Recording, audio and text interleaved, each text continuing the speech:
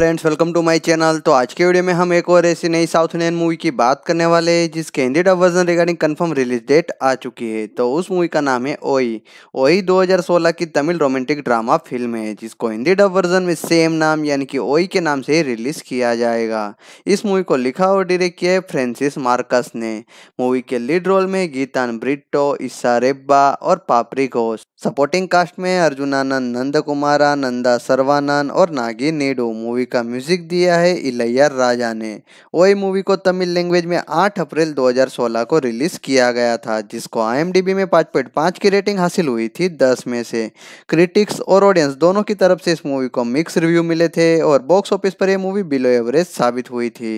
जिसके Hindi dub version right sold out किए हैं आर के दुग्गल स्टूडियो ने, और उन्होंने इस मूवी की हिंदी डबिंग पूरी तरह कंप्लीट कर दी है। और ये मूवी आपको जल्दी टेलीविज़न पे 15 मई को साढ़े सात बजे के टाइम पे एंटरटेन टेलीविज़न चैनल पे हिंदी डब में ओई के नाम से देखने को मिल जाएगी। एक बार फिर रिपीट कर देता हूँ कि 2016 की तमिल रोमांटिक ड्रामा फ़िल्म ओई, जिसका हिंदी डब वर्जन अब सेम नाम यानी कि ओई के नाम से ही रिलीज़ किया जाएगा,